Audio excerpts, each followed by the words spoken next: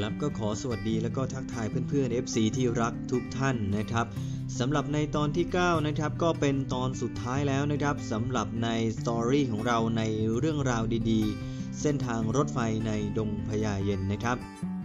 สำหรับเส้นทางรถไฟในตอนนี้นะครับระหว่างสถานีมวกเหล็กถึงสถานีหินลับนะครับ เนื่องจากว่าขบวนรถไฟขบวนนี้ จะสิ้นสุดที่สถานีรถไฟหินลับนะครับ และสำหรับเส้นทางช่วงนี้นะครับก็เป็นทางรถไฟที่ไต่ขึ้นไปสู่สถานีหินลับนะครับ ซึ่งด้านขวานั่นก็คือสะพานรถไฟยกระดับต่อเนื่องจากในตอนที่ 8 นะครับ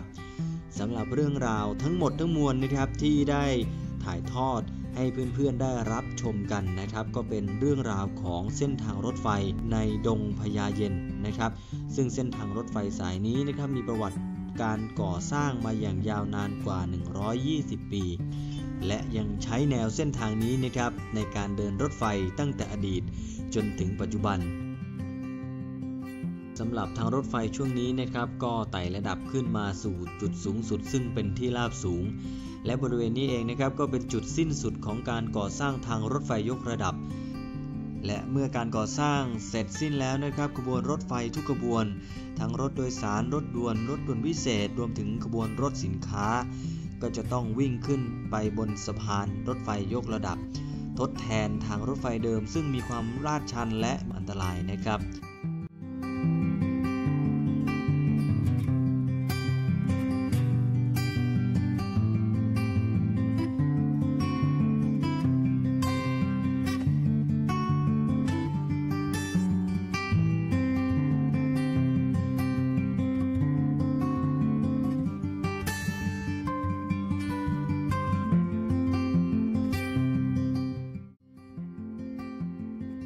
ในช่วงนี้นะครับทางรถไฟจะเริ่มคดเคี้ยวไปมานะครับลัดเลาะแนวเขาไปเรื่อยๆนะครับซึ่งในอดีตการก่อสร้างเส้นทางรถไฟณจุดนี้นะครับ ก็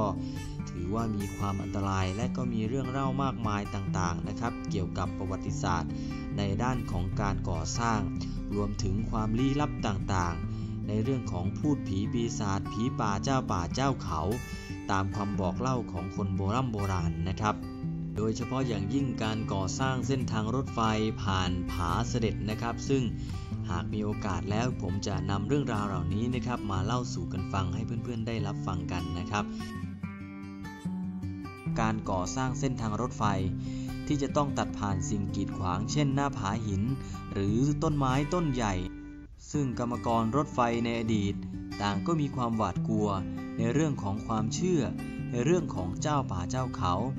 จนหลายครั้งที่พระบาทสมเด็จพระจุลจอมเกล้าเจ้าอยู่หัวรัชกาลที่ 5 ทรงเสด็จมาเป็นขวัญกำลังใจ และทำพิธีเปิดป่า เพื่อให้การก่อสร้างเส้นทางรถไฟนั้นลุล่วงไปได้ด้วยดี ดูเหมือนว่า สิ่งเหล่านี้จะอยู่เหนือคำบรรยาย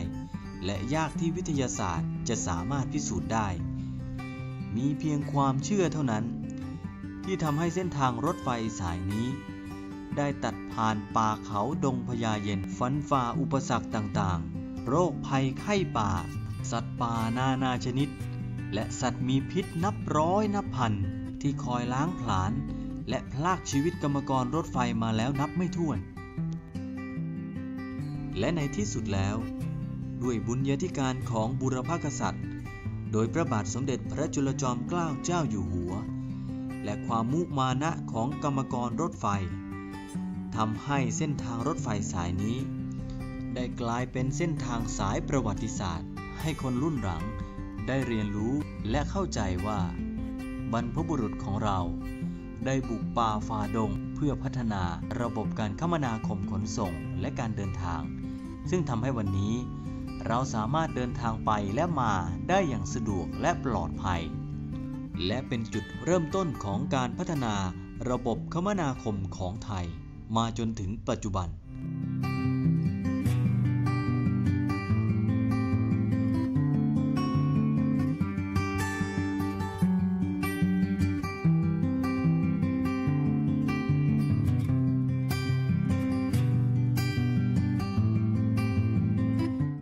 เส้นทางรถไฟสายกรุงเทพนครราชสีมา หรือเส้นทางรถไฟสายดงพญาเย็น